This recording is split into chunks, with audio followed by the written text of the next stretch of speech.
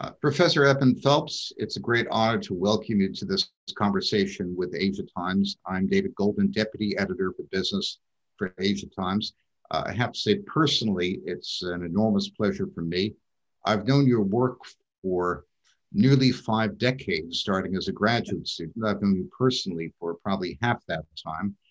Uh, and I have to say, among all the Nobel laureates in economics, uh, we can fairly say of your work that you've done some of your most important work after receiving the Nobel Prize in 2006. Uh, I refer to your 2013 book, Mass Flourishing, and a subsequent book you wrote with a number of colleagues called Dynamism about what actually drives uh, extraordinary periods uh, of economic growth. And now your white paper for Asia Times, uh, which we released today, I think is a major contribution to the world discussion about uh, economic growth, economic policy, US China relations, and ancillary topics. So, welcome uh, and thank you very much. Uh, well, thank you, David, for inviting me. Good to be here. It's our great pleasure. Professor Phelps, you said that the concept of mass flourishing is your most important contribution to economics. As I said, that would make you the only Nobel laureate to publish his best work after winning the Nobel Prize. Could you give our listeners a capsule exposition of mass flourishing? And I hope that will persuade them to read your Asia Times white paper as well as your books, Mass Flourishing and Dynamism. Yeah, let's hope that your our listeners um, take a look at the at that um, publication. Um, well, the first theme of uh, mass flourishing is, is that the century long explosion of innovation uh, in the West in the 19th century came from the imagination and creativity of people from various backgrounds and interests, not from the discoveries of navigators and a small number of scientists generally elsewhere in the world. The second theme of, of, of mass flourishing is that the experience of conceiving and creating new ways and new things and being involved in all that was hugely rewarding to people, maybe more important than the resulting gains in productivity. Among the many honors you've received, one of special interest to our readers, we're Asia Times, of course, is the China Friendship Award. That was presented to you by Chinese Premier Li Keqiang. Uh, your book, Mass Flourishing, uh, was a bestseller in Chinese translation. Uh, Premier Li praised your contribution to Chinese efforts at innovation. What can you tell us about your conversation with Chinese leaders and their interest in your work? Well, I, have been fortunate to have three meetings with Premier Li. As you can imagine, he has a wide range of interests. So we talked about several things over the years. In those meetings, innovation was a subject that always came up. He was keenly interested in entrepreneurship as well. I remember how delighted he was uh, to inform me of the rapid rate of new firm formation that was encouraged, that was occurring in China.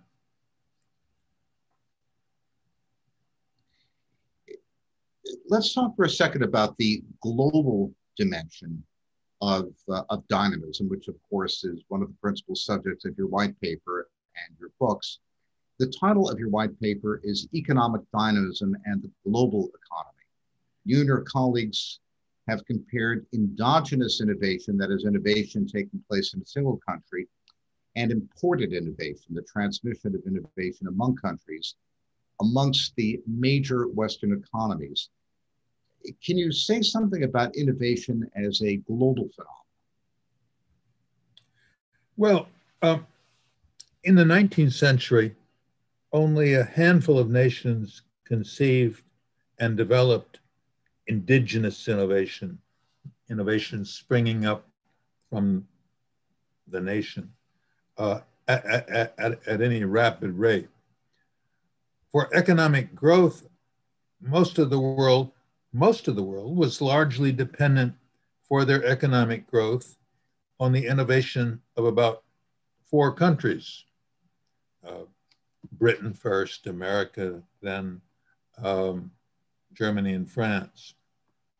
But now innovation, I would say, has become a global phenomenon, uh, as you call it.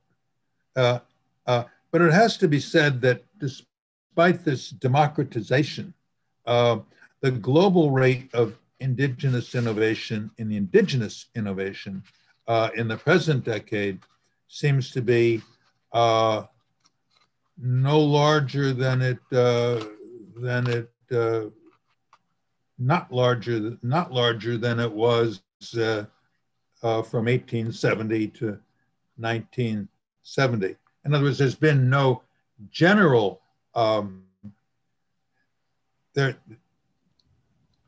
In general, innovation has not speeded up around the world, and it's in fact slowed down in those four countries I mentioned at various times uh, in recent decades. Uh, but some other countries, of course, have picked up in, in their uh, rate of uh, innovation. And one of those countries I'm sure we'll be getting to in just a minute.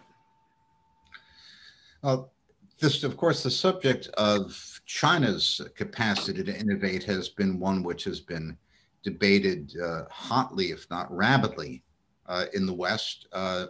And that's a great segue to talk about China. Uh, in your white paper, you wrote, if I can quote, after the launch of reform and opening up, China's innovation was predominantly imported, although at some point in the present decade, indigenous innovation became significant. But as China runs out of foreign innovations it can import at acceptable cost, its focus is now on indigenous innovation. Now, do you see China, do you expect China to become an exporter of innovation uh, like Western countries? Well, it seems to me that such an exportation of, of new methods and products would be uh, a very uh, natural outcome, uh, and and that will be um, interesting to watch. Yes, it's it's uh, it's it's uh, interesting to think that um, the U.S. and Britain held up, uh, pushed forward the world in the 19th century, and and then the United States pretty much by itself kept things going uh, over the first two thirds of the 20th century. And um, now maybe we can look to uh, China to carry the ball, to, to, uh, to, to make a big contribution to uh, advancing productivity uh, in the rest of the world. That's uh, that that's a big statement and one which, as I'm sure you know, is uh, is controversial uh, in the United States. If we could talk for a moment about the well springs of innovation, the sources of it. Uh, in the white paper, you wrote that the sort of economy that people want, and I quote, would be fueled by the original ideas of creative people and developed by entrepreneurial people alert to new opportunities and keen to start new businesses and developing new concepts into commercial products and methods and marketing them to potential users. This is the China that I hope will emerge. Uh, you've personally observed China over many years. You've spent uh, uh, great deal of time speaking, teaching, meeting uh, leaders in politics and business. Do you see the China that you hope to emerge actually emerging? Well, um, all of that is, I think, is is uh, occurring. Some parts more than others. Um, there's been a huge rise in the number of firms over the past couple of decades uh, in China. I have seen with my own eyes many amazing new products and methods created in China. It's not just abstract. I've been in the factories and been in the companies, and I've just been bowled over by uh, what I've seen, though I admit I don't go to many American factories. Um, the resulting acceleration in the rate of growth of what economists call total factor productivity uh, in China has not risen much, but that may be in large, large part because much of China is not developed in, and, and, and is not growing at a rapid rate. Once, once the once innovation is starting is going on over all of China, I, I think we'll see amazing uh, aggregate numbers. If we could turn back to the West for a second, uh, let me quote again what you wrote in your white paper. The West is in crisis, and so is economics. Rates of return on investment are meager. Wages and incomes generally are stagnating for most people. Job satisfaction is down, especially among the young, and more working age people are unwilling or unable to participate in the labor force. End of quote. When you look at the world economy with your decades of perspective on this, what worries you the most? And conversely, looking at the world, what gives you the most reason for optimism? Well, um, being an American, I, I worry about what appears to me to be a fall of interest in exploration and creation, and a rise of interest in making fortunes. I think we also have witnessed um, in America businesses spending more time seeking advantages from the government and politicians and spending more time seeking donations from business than used to be the case, which is certainly harmful in all sorts of ways. I also worry about the damage being done by global warming and now by the coronavirus. We all have to hope that there is more international cooperation on these, uh, on these two fronts. Uh, Professor Phelps, if we could talk about the economics profession for a moment, which you view, of course, from the pinnacle as a Nobel laureate. Uh, in your white paper, you've said some very critical things about the standard macroeconomic model, the default way in which economists look at the economy as a whole. Uh, we have many readers who are students, students of economics.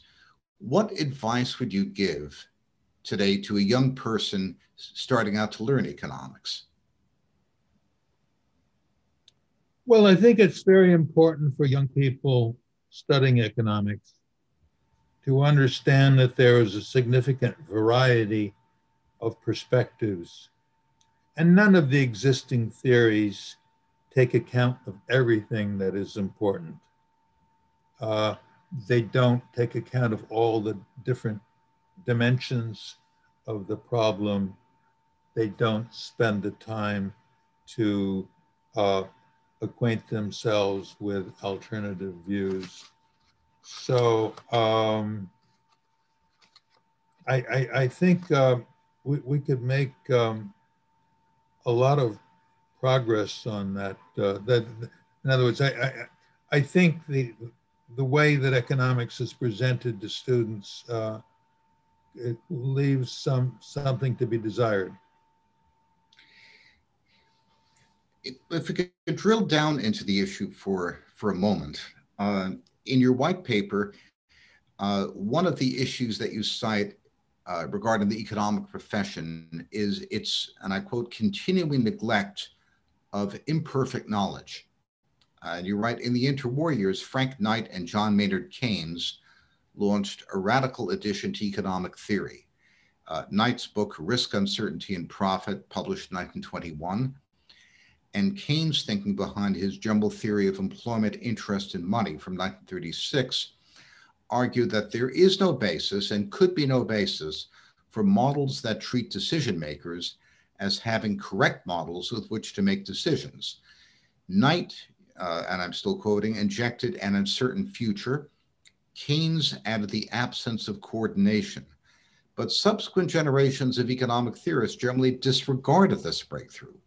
Uncertainty, real uncertainty, not known variances, is not normally incorporated into our economic models. The uncertainty revolution still has not succeeded. Now, surely the issue of uncertainty and imperfect knowledge has consequent implications for economic policy.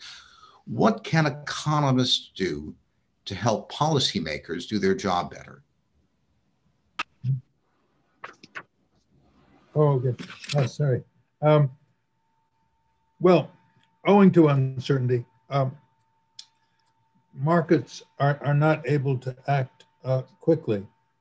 Uh, to, and so the markets don't quickly find their way to equilibrium. And, and that's why, as uh, Keynes emphasized, government intervention is often advisable.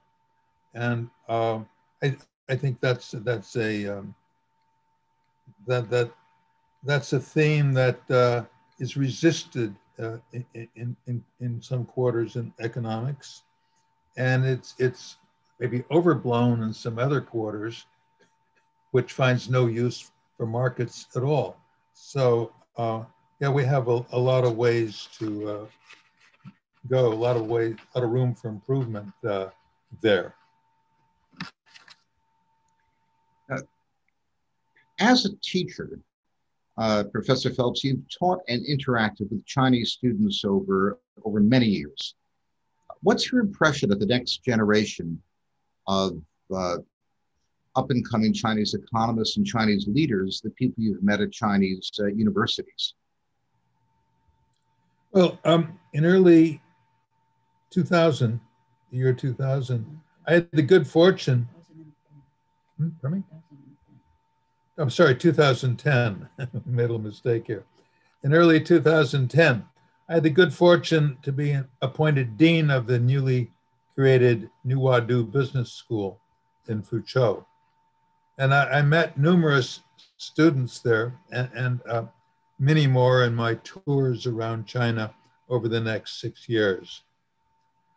Um, I'll never forget the night when I was invited to give a lecture, lecture entitled Capitalism and Socialism at Peking University the huge hall was packed. People were almost literally hanging from the rafters. And, and um, the students were visibly excited, and so was I. So that was a, an introduction to uh, Chinese students. Some years later, I had the honor and the pleasure, twice in fact, of giving a, a top talk to students at Tsinghua University a, a wonderful uh, university, uh, as, as, as you know, and uh, as the world, I think, uh, knows. Many of those students were quite brilliant. I was hugely impressed. I was, it was also impressive to see how knowledgeable and how eager and optimistic the Chinese students uh, are. And Professor Phelps, what advice would you give to the new US administration, the Joe Biden government? And what advice would you give to the Chinese government uh, correspondingly? Well, I think it's important for, for the US government to grasp that China has come to be a technological and cultural equal. equal. China continues to work hard to eliminate poverty, while America has not done enough. I hope the Chinese government will continue to encourage and support the formation of startups with new and innovative ideas. Uh, I would like to express my hope that both governments try from now on always to be open to discussion and to work at surmounting the huge distrust that has arisen in the past few years.